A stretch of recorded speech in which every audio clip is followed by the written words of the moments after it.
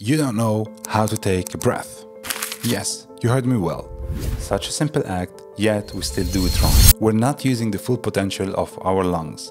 I'm Dr. Jay Francis, I'm a medical doctor, and I'm gonna teach you three breathing techniques, how to do them to relax your body and mind. These are scientifically proven techniques by many studies and researchers. As we know, stress and sometimes anxiety is part of our daily life. Luckily, we have some tools we can do to relax this state of mind. The first breathing technique is called the diaphragmatic breathing or the deep belly breath. This is one of the most researched breathing techniques and widely used. The diaphragm is this muscle that separates the chest from the abdomen. It is involved in the breathing process. It helps the lungs to expand. Shallow breathing is the pattern that is dominant during stress. And this is not very good because it releases the stress hormone like the cortisol, which increases the heart rate and making our body in a state of stress. This is why this deep diaphragmatic breath can help you release some relaxing hormones. So first of all, be sitting or lying down, take a deep breath through the nose,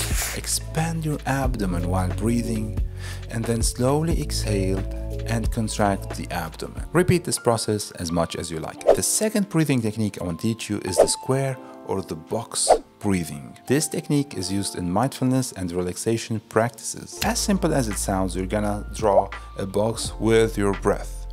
First of all, you take a deep breath for 4 seconds, you hold it for 4 seconds, you exhale for 4 seconds, and you hold it out for 4 seconds. A recent study in the Journal of Clinical Psychopharmacology found that this box breathing technique can decrease the sympathetic nervous system, which is calming. And finally, number three, we have the 478 breathing, which is also known as the relaxing breath. This technique is developed by Dr. Andrew Weil, and it was designed first to calm the nervous system. This technique is based on the principle to control the breath to have a specific exhale and inhale ratio. First of all, close your mouth, take a deep breath for 4 seconds, hold it in for 7 seconds, and then exhale slowly for 8 seconds. At the beginning, only do like 4 cycles, and then day after day you can increase as much as you can. And here you have it, as simple as that. Believe me, these can help. If you know more techniques or you do something else, why not share with us in the comments section?